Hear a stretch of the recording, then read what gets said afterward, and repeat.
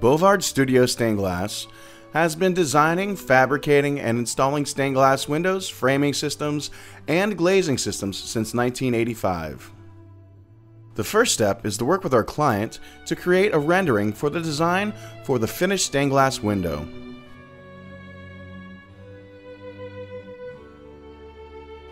Our pre-production team drafts a pattern for the fabrication of the stained glass window, then selects the appropriate sheets of handcrafted or mouth-blown stained glass for the fabrication of the stained glass window. Sheets of stained glass are then cut into size and shape to make up the individual panes.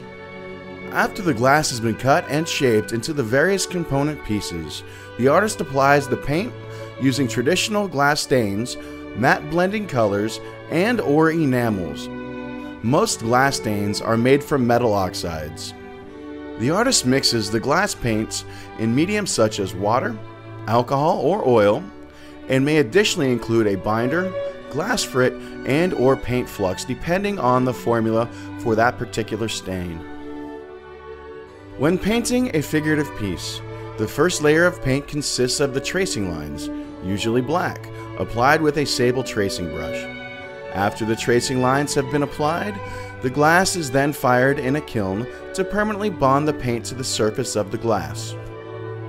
The next paint layer is called a matte or matting that requires a special blending brush handmade from English badger hair. This light brownish matte paint is applied as a fine layer, then blended with the badger brush to make it uniform and semi-transparent. Once air dried, this matte layer will be carefully brushed away, called lightening, by the artist to expose the areas that are to remain transparent. This stage of glass painting is the opposite of most painting practices. In this instance, the image is formed by lifting the paint off the matted surface of the glass.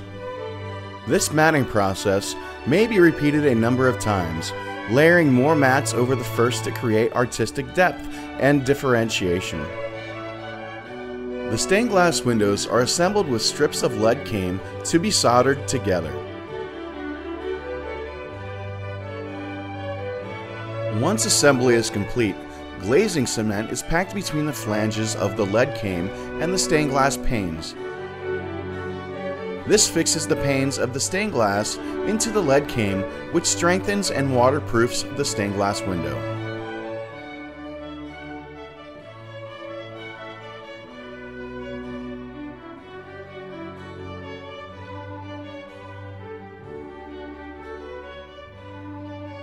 Steel reinforcing bars are then added to the stained glass window to hold it in a flat, upright plane when it is installed into the window frame.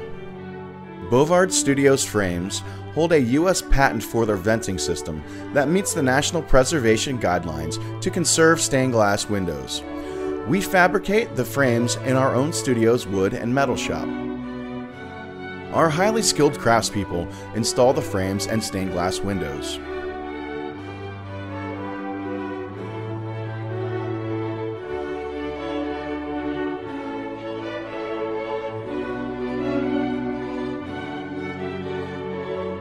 This all builds up to the glorious dedication service for St. Mary's new church with their new stained glass heritage designed and engineered to last many generations of worshippers.